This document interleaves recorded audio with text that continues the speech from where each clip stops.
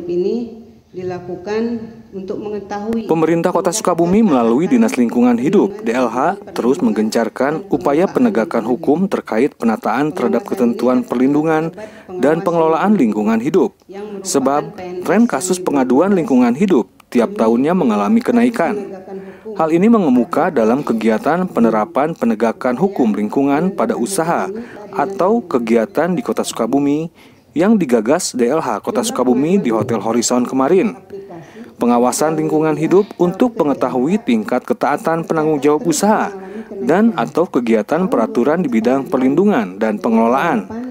Langkah tersebut demi penegakan hukum pada pelaku usaha dan atau kegiatan dengan tujuan untuk meminimalisir pengaduan lingkungan hidup yang dilaporkan ke DLH. Sementara jumlah pengaduan lingkungan hidup melalui aplikasi sosial media, telepon, dan datang ke DLH tercatat terus mengalami kenaikan.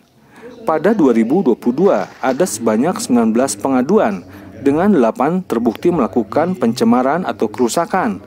Dan pada tahun 2023 ada pengaduan dengan 14 terbukti sampaikan pemahaman terkait dengan sanksi barangkali ada beberapa yang mengantisipasi pengaduan dan bisa menjawab pengaduan. Dan karena memang tahun 2023 2022 beberapa pengaduan masuk ke dinas lingkungan hidup tapi sudah diverifikasi. Ada beberapa yang memang terbukti.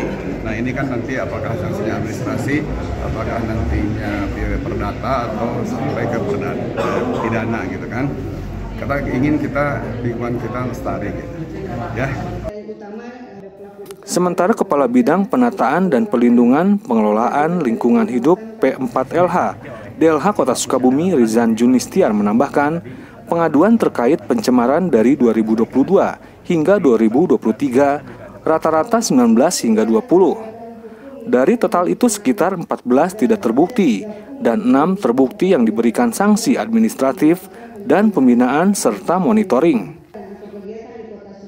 Tentang uh, pelanggaran mungkin ya pencemaran itu uh, di tahun 2022 sampai 2023 itu rata-rata 19 sampai 20. Hmm. Dari total 20 itu uh, sekitar 14 itu tidak terbukti. Hmm yang enamnya terbukti. Hmm. Kalaupun sanksinya kita hanya sanksi administratif. Hmm. Jadi kita berikan sanksi administratif selama 30 sampai 60 hari kerja, 60 hari kerja dan selama itu kita lakukan pembinaan dan monitoring juga. Dan hmm. alhamdulillah uh, kekurangan bukan pelanggaran sih temuan di lapangan itu hmm. diperbaiki oleh pelaku usaha tersebut. Hmm. Tingkat ketaatan Diharapkan dengan kegiatan tersebut, peserta mengetahui dan memahami penerapan hukum lingkungan yang berlaku, khususnya pengetahuan pengaduan dan penataan hukum lingkungan pada pelaku usaha, serta menumbuhkan kesadaran dan memotivasi pentingnya upaya perlindungan dan pengelolaan lingkungan hidup, serta tanggung jawab perlindungan dan pengelolaannya. Jumlah pengaduan baik melalui aplikasi